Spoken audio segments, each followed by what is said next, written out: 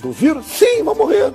Então, alguns por estar já com deficiência, outros que vai acontecer, vai pegar o cara, pegou o cara no contrapé, vai acontecer, lamento. Essa endemia, ela simplesmente não existe.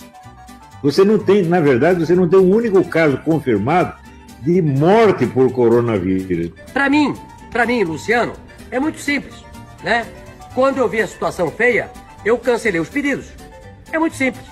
E vou ter dinheiro para pagar tudo, tudo o que eu comprei.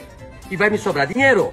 Então, eu simplesmente fecho as lojas, cancelo os pedidos de todos os meus fornecedores, tenho dinheiro para pagar tudo e vai sobrar dinheiro no meu bolso. Eu quero dizer que nós estamos dando um tiro de canhão para matar um pássaro. Nós estamos exagerando na dose.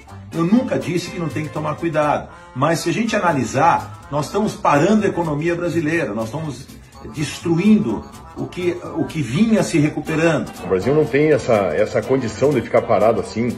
As consequências que nós vamos ter economicamente no futuro vão ser muito maiores do que as pessoas que vão morrer agora com o coronavírus. Eu sei que nós temos que chorar e vamos chorar cada uma das pessoas que morrerem com o coronavírus. Isso aí é um negócio, vamos dizer, a mais vasta manipulação de opinião pública que já aconteceu na história humana.